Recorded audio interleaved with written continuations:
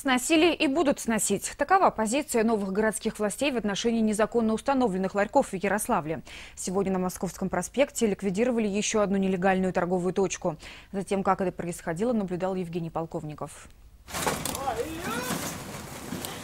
В этом ларьке больше не будут торговать пирожками. Он сдавался в аренду, а его владельцу еще полтора года назад нужно было освободить это место. Такое решение принял суд Фрунзенского района, но его не выполнили. Дальше был выписан исполнительный лист, и ларек был снесен принудительно с помощью специалистов из МЧС. Ларек занимал участок в 6 квадратных метров. За его использование с владельца незаконного киоска теперь будут взысканы деньги в пользу мэрии. Должник в данном случае не исполнял решение суда по освобождению участка и по э, оплате суммы за фактическое пользование, в связи с чем было принято решение о его принудительном демонтаже. Но должник уклонялся очень долгое время.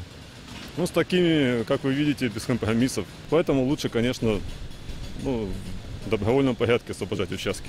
Решение суда основания для сноса незаконных ларьков, оно обязательно к исполнению. У проблемы незаконных временных строений есть тенденция, они поставлены несколько лет назад, и многие из них подключились к электричеству без разрешения. Поэтому, кроме силовых структур и мэрии, проблему ликвидируют также и энергетики. Подключается самовольно. То есть мы очень плотно работаем с электросетью. Они тоже занимаются этими объектами и по самовольным подключением рассматривается вопрос о привлечении не только к административной, но и уголовной ответственности. В Ярославле более 300 ларьков являются незаконными. Их судьба будет такой же, если их владельцы проигнорируют судебные решения.